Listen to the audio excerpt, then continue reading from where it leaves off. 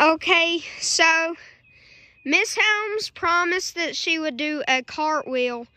She promised the second graders, and I guess they ended up wanting to do a cartwheel challenge. So go ahead, guys. Melena's up first. Ooh, that was good. Now she can do her one-handed one. Miss Helms' turn. Here you go, second graders. Ooh, that was good.